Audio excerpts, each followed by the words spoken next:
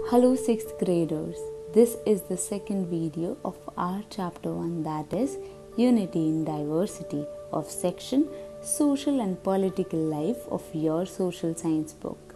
In the previous part of the video, after a brief introduction, we looked into Ladakh and Kerala, and in this video, we are going to dig deeper into the cultural aspects. I have used the word culture so many times. But what do we mean by this term?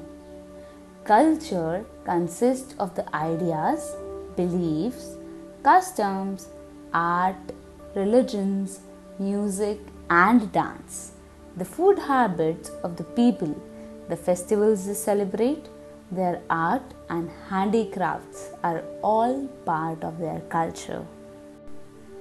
Now we will move towards understanding all the components that make up the culture of a place in a little detail. We will begin with dance and music. Did you know that the first archaeological proof of human beings dancing comes from rock paintings done thousands of years ago on the walls of the Bhimbetka caves in Madhya Pradesh? Yes, dance is in our blood and our feet. You may have studied Bhimbetka caves in history. Let's read about two major kinds of dances classical and folk dances. The classical dance, such as Bharatanatyam, is popular in Tamil Nadu, Kathakali in Kerala, Kathak in North India, Manipuri in Manipur, and Odissi in Odisha. Most of these dances tell stories from two epics, the Ramayana and the Mahabharata. Ancient Indian knowledge has been passed on by word of mouth. Stories which presented different perspectives, thought processes were told through song, dance, and drama. This is called the art of folk theatre. Folk dances are mostly based on seasons. For example, Bhangra from Punjab, Garba from Gujarat, Ghumar from Rajasthan, Lavani from Maharashtra, and Bihu from Assam are popular folk dances. Some of the music like dance forms also goes back to the Vedas. There are two main schools of classical music Hindustani for the north and Carnatic for the south. Some students learn music from a guru. Devotional music such as couplets of Kabir and bhajans by Surdas, Tulsidas, and Mirabai are sung all over the country. Folk music consists of traditional songs sung during festivals and weddings. Have you seen monks dancing? This was a surprise for me and must be for you as well. Traditionally, Satriya were performed only by bhakots, male monks in monasteries, as a part of their daily rituals or to mark special festivals. And did you know Sufi whirling or Sufi turning is a form of physical active meditation which originated among certain Sufi groups? Now, let's together dig deeper into art and sculpture. Cut into the sides of cliffs located in the middle of nowhere in Maharashtra are two of India's most significant and most visited cave temples, Ajanta and Ellora. It is based on teachings of Buddha. The Ajanta caves are regarded among the most impressive Buddhist monuments in India.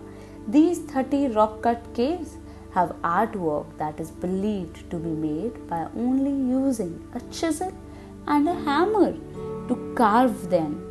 And Ellora, a marvel of art and technology, it is a testimony to ancient India's spirit of religious tolerance. Religious tolerance means when we understand and we tolerate and we coexist with each other on religious grounds when we do not fight. We respect each other's religious beliefs. The complex contains temples devoted to three religions Buddhism, Hinduism, and Jainism, all within a single site, coexisted peacefully. Like Mughals, Hindu kings also encouraged various schools of miniature painting. The Rajput paintings portrayed scenes from the epics and life of Lord Krishna. These works of art depicted animals, birds, and people against lush landscapes. So did the Pahari paintings from Himalayan regions, like those of the Kangra Garhwal school, all of which had Krishna as the central figure. Kamangari paintings were once a speciality of Kutch, and Kamangari artists too painted on the walls. Most of them were Muslims, but they rapidly painted scenes from the Hindu epics. India also is a land of many beautiful monuments built by craftsmen. The stupas of Sanchi, built by Emperor Ashoka, Taj Mahal by Shah Jahan. Oh, my mouth is watering. What can be the reason? Hey, let me tell you. We have come to understand the diversity in food. And here we go. It is the food, you know? The food is the another thing that unites Indians, and we find it at every nook and corner of the country. It is our love for food, and why not? When we have delectable treats made to cater to every taste. Every region in India has its own special cuisine, which is mainly influenced by the climate of the place, availability of fresh produce, religion, customs, and beliefs. So there are Sambar dosa in Tamil Nadu, Machar jhol in Bengal, Parathas and lassi in Uttar Pradesh, Kadhai and khichdi in Gujarat. Oh, I mean curry and khichdi in Gujarat and kebabs and biryanis in Uttar Pradesh. Apart from above mentioned reasons, invasions from different empires in another is the another reason for changes in food the culinary traditions of every empire that ruled the country, be it the Mughals, the Portuguese, or the English.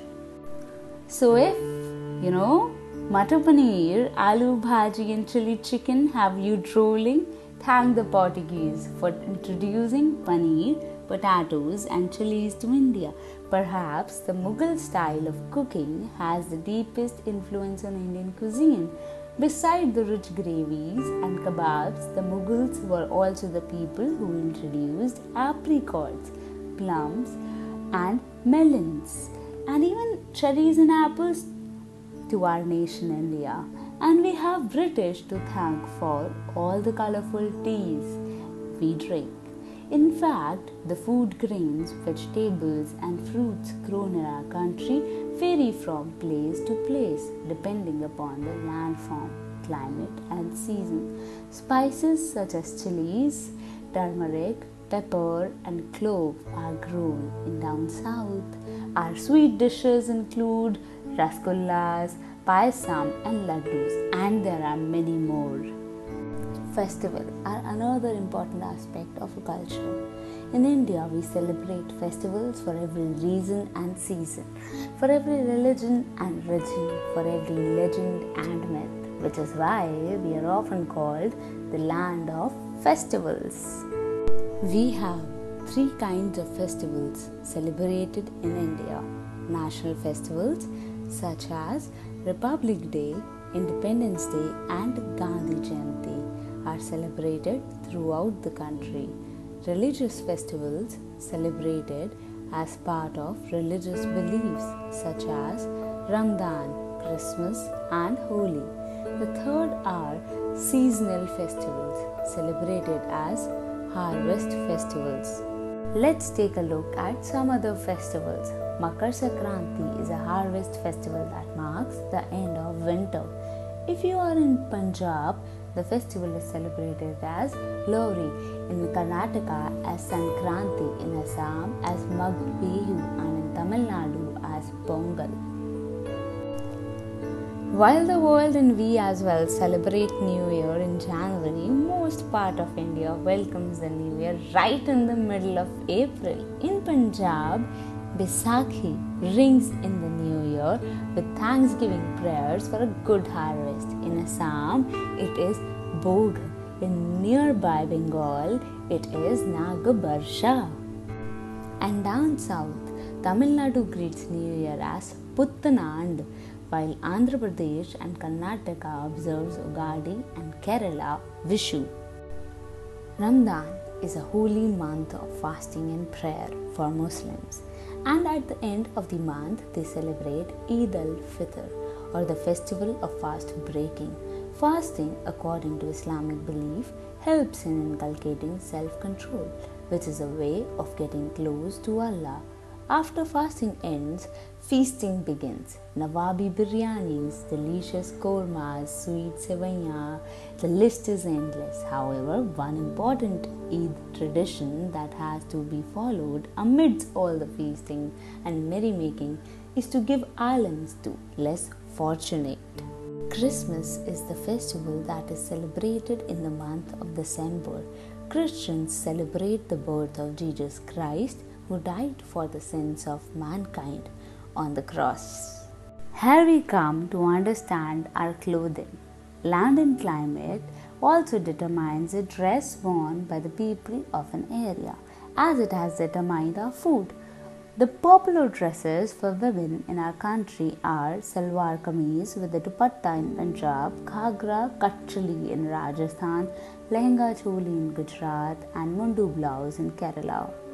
And you know, nowadays what you see women mostly or generally wearing Western clothes, that is the influence of Western culture. Men usually wear trouser and shirt, but we also see pajama, kurta, dhoti, kurta, and lungi shirt. Men in Rajasthan wear churidar kurta with a achkan a churidar with a jacket is worn in Gujarat. Even the style of tying the turban differs from state to state. In Kashmir, people wear long woolen kurta called firan, which protects them from the cold weather. After a long journey of understanding India's diversity, now we have come to the original inhabitants of the Indian subcontinent. Yes, they are Adivasi. Adivasi is a heterogeneous group. They are not homogeneous. By homogeneous, we mean a group that has similar characteristics. They do not have similar characteristics, they themselves are diverse. There are, you know, 200 districts, and in those 200 districts, people speak more than 100 languages.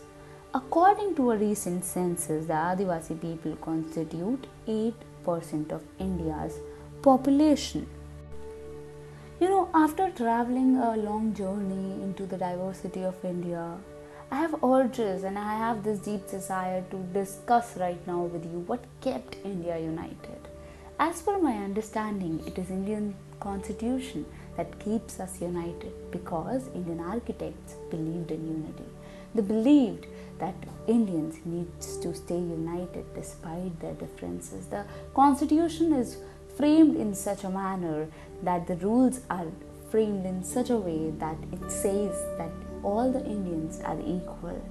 Despite you follow any religion, any custom, any belief, but you are equal. And see our laws, they treat us equally, and so we believe in them, and that keeps us united our central powers are strong. And apart from all of these, respect and tolerance are the other important key factors that keeps us united. Children, it is really important to hold respect and tolerance towards others' religion, others' beliefs and faith, even if they are in contrast with yours. Let's know about our achievers achievers among the Adivasi people. The Mahabharata mentions that Eklavya was a Bhil who taught himself archery by standing before the clay image of the great teacher Dronacharya. Eklavya went on to become a great achiever. Another example is Shabri, who was a Bhil woman. She offered Ram and Lakshman jujubes when they both were searching for Sita.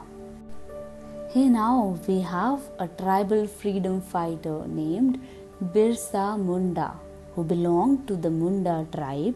His portrait hangs in the central hall of parliament, the only tribal leader to have been given the honor in 1950. The Indian constitution officially identified Adivasis as scheduled tribe and have been given many protective provisions. The history of our freedom movement proves that although we had and still have diverse cultures and backgrounds, people from different regions came together to fight against the foreign rules. The Indian flag, the national anthem, and the patriotic songs are all symbols of our unity. Now let's understand all of it from the perspective of globalization. Progress in transport, communication, and technology has enabled us to overcome geographical boundaries and has revolutionized our way of living. The world is linked as never before. Economies, societies, and culture have been connected through a global network, not only in India but throughout the world. Today, the entire world operates like single giant world market, spreading information and ideas. It has increased money flow, investment, and international trade. We are all connected with each other in spite of all our differences. So it is not at our country's level that we are connected. We are connected at the level of the world with each other. Let us all unite in spite of all the differences of culture, religion, language, and custom.